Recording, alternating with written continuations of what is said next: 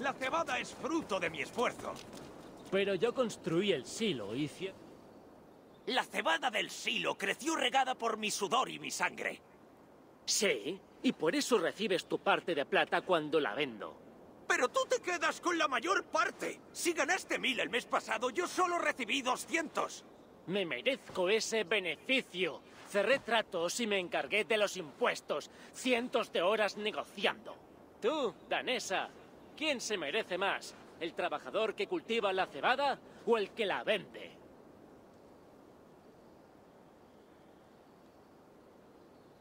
Deberíais llevaros partes iguales. ¿Qué compensación me llevo entonces por tanta negociación? ¿Los disgustos constantes? El papeleo. Este no vendería ni sus ojos. Sin mí, la cebada ni siquiera existiría. Y la que cultivo yo es conocida en Mercia y Essex. Sopicaldo de Sevi. Mi alma está en cada copa. ¿Sabes ese La situación entre en estos dos hermanos es muy los tensa. forúnculos y las verrugas. Usa ortigas para todo. Para cerrarse las heridas, para hacer puentes. Ojalá nuestros padres se volviesen a llevar tan bien como cuando no existía el silo y compartíamos la cebada. Es una tontería discutir por ver quién recibe más. Hay cebada de sobra. Se pelean como dos perros. Dos perros que ya ni saben por qué empezaron a ladrar. Ojalá nuestros padres se volviesen a llevar tan bien como cuando no existía el silo y compartíamos la cebada. Es una tontería discutir por ver quién recibe más. Hay cebada de sobra. Se pelean como dos perros. Dos perros que ya ni saben por qué empezaron a ladrar. Lo único que hacen es discutir. Hubo una época en la que la cebada solo nos daba alegrías. La olíamos y la alabábamos.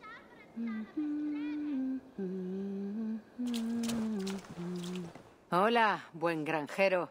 No sé qué hacer. No sabes la rabia que me da. Cálmate, bebe algo de cerveza y disfruta de tus esfuerzos en el campo. No merece la pena romper una amistad por dinero. Me temo que eso no es posible. Me hierve la sangre. Que lo sepa la gente. En mi tierra solo hay una forma honorable de solucionar esto. Un Holmgang. Tienes razón. Que le zurzan.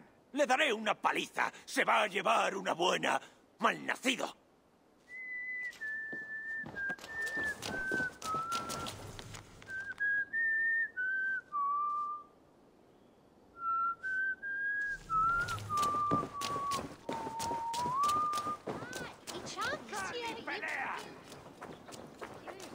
Engaño y te robo parte de los beneficios?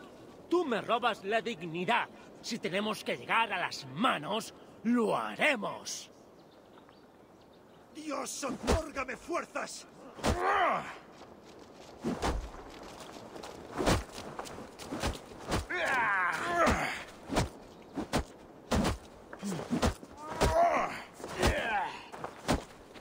Hemos llegado a esto? Somos como animales.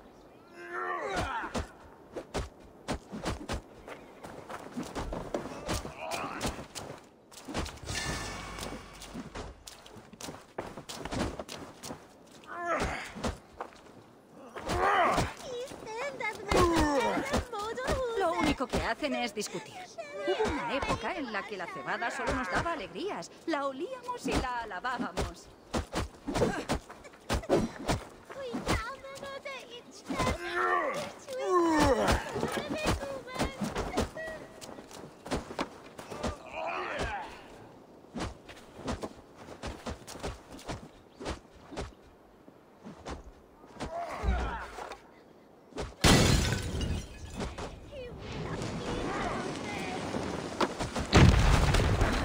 Esto debería poner fin a su disputa. No hay otra forma de solucionarlo.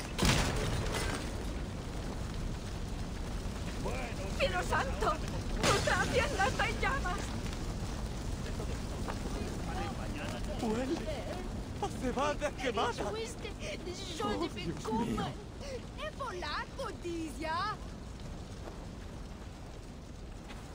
Que desaparezca. No ha hecho más que separarnos. Es cierto que hubo una época en la que nos llevábamos bien. Quizá podamos empezar de cero.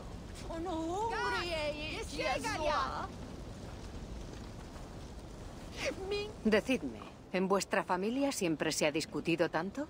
Sí, pero espero que ahora ya no ocurra gracias a tu intervención, aunque haya sido tan drástica. Muchas gracias. mich overflitten. Child Elmond, what? Never thought a student.